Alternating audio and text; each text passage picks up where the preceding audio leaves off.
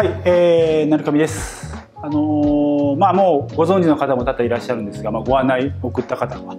えー、まあちょっと大きな発表がございまして、まあ今こう皆さんの前にまあカウンターの方から見ていただいているだけのあまあ全体像はちょっとわからないかもしれないんですが、ここの青山ね、えー、南青山の鳴神はちょうど今年今2月ですけども今年初夏で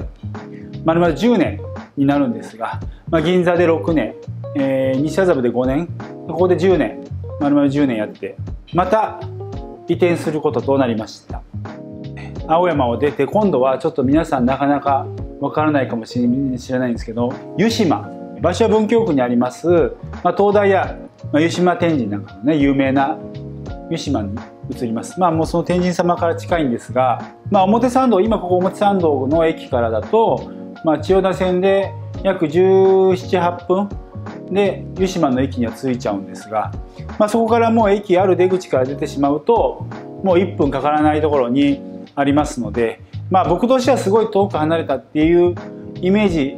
距離感ではないんですが、まあ、東京という街もねやっぱり場所場所で雰囲気というかキャラも違うし、まあ、どっちかというとその向こうの湯島なんかは、まあ、僕としてはすごく土地のいい場所で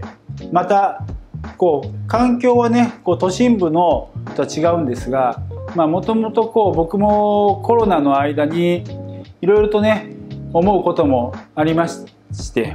えー、まあパートナーのね周平君とまあなんかこうちょっと違う場所行ってみたいななんていうことも話したりそれはなぜかというと、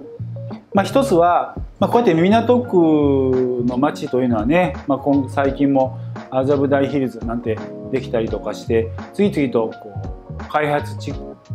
の中心部でもあってとてもこう街の風変わりっていうのがどんどん起きていく、うん、場所でそれがまあ東京としての特徴としてはまあいいことだとは思うんですが、えー、一方で例えばすごくいい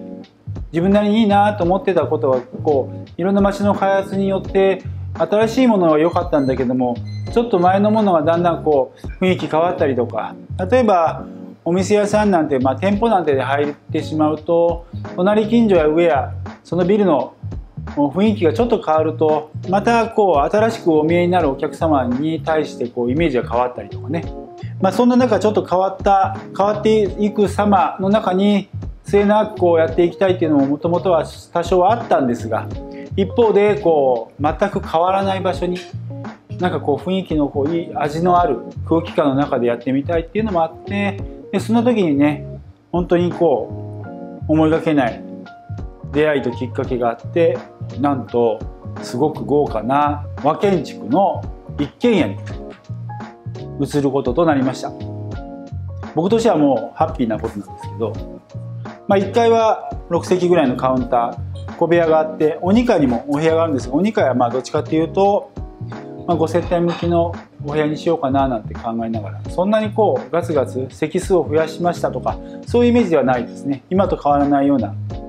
えー、範囲でやっていくんですが。あとはいえ本当に素晴らしい、え建物なので、まあ、建物に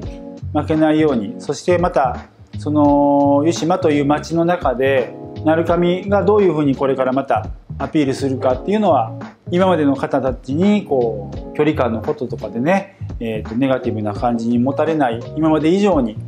あの喜んでもらえるものにしようとすごくこうあ気持ちは高ぶって意気込んでおりますのであの皆さんの期待に裏切らないように頑張っていきたいと思います。準備はもうどんどん進んでましていろいろ日にちが細かくは決めれない状況がちょっと僕以外のことでいろいろありまして、まあ、その日にちのバランスは今ここのこの放送の時ではちょっとまだ言えないんですが、まあ、多分5月の中旬から下旬にかけてはもう三島の方でオープンとなると思うんですがまたこの YouTube でも映像で出来上がった様をお見せしたいなというのもありますし、まあ、ホームページ上やネット上ではまた情報は出ると思うので、まあ、引き続き皆様まあごひいきのほどよろしくお願い申し上げます。湯島に移りますまたよろしくお願いいたします